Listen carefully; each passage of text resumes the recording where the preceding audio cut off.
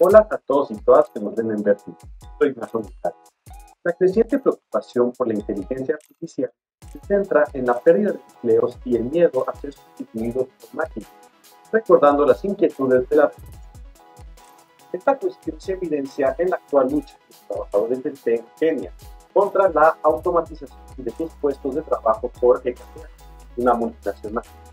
La tecnología es un doble filo, simbolizando el progreso y al mismo tiempo desafiando desplazamientos socioeconómicos.